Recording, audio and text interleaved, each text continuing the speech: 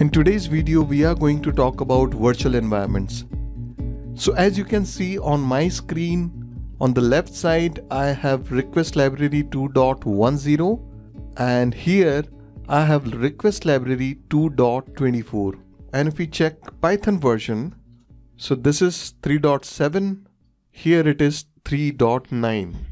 So I will show you how exactly you can do that and why it is important.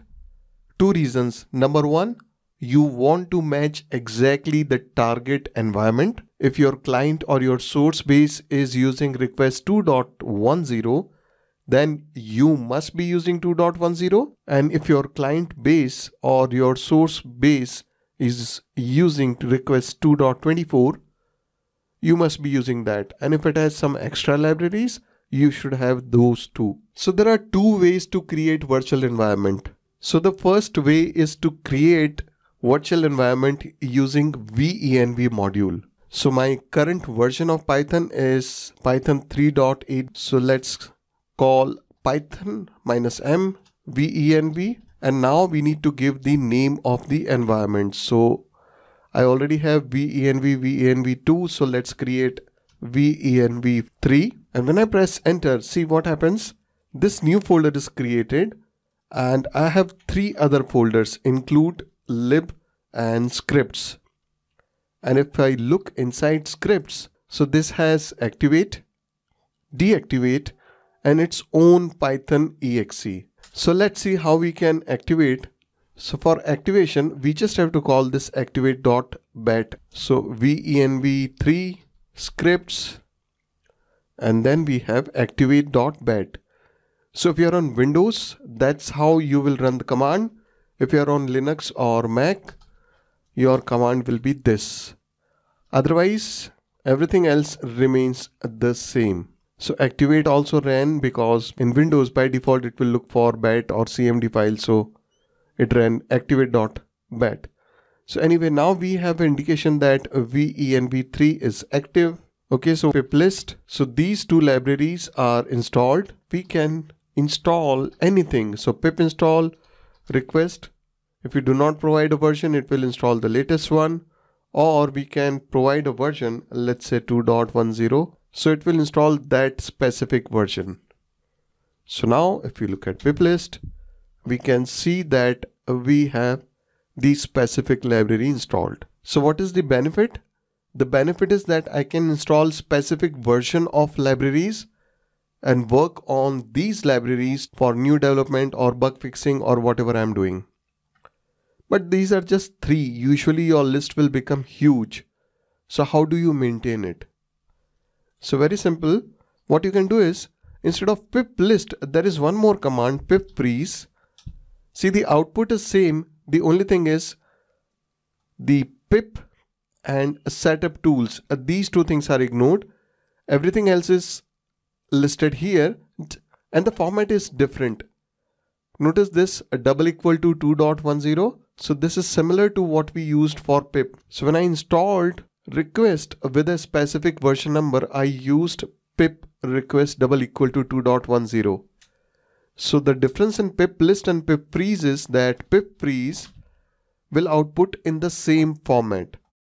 So what we can do is we can redirect this output to requirements.txt. So this is usually called requirements.txt, but you don't actually have to call it requirements.txt, but that is the convention. So if I look at the directory structure, okay, I have requirements.txt. Now I want to create one more virtual environment, but this time I will be using a different package called virtual env. But you will have to install it using pip install virtual env. A word of warning, whenever you are installing virtual env, install it with admin rights so that it is installed in proper path. Virtual env and then venv4 let's call it venv4 so that's all we have to do. Press enter and rest of the things are going to be very similar. So now we have one more folder and similarly we have lib and scripts there will be slight differences. So if you go inside scripts, you have same activate, deactivate. There are few more, but still Python installation is here.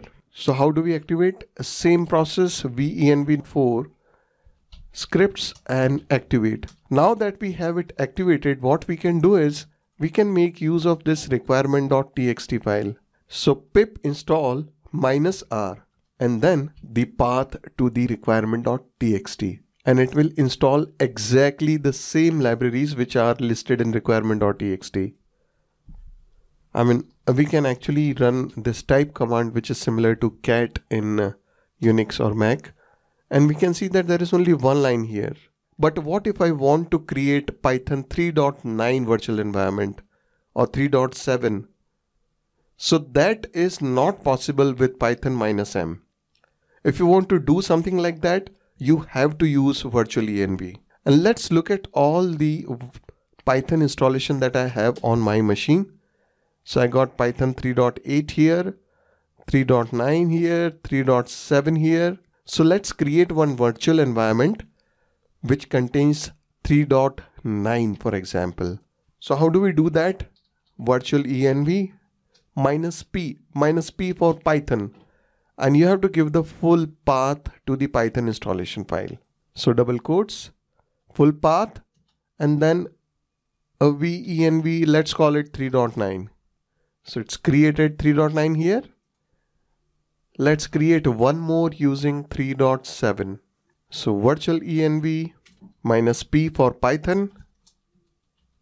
And this time let's call it venv 3.7. And as you can see from the path, it is using Python 3.7.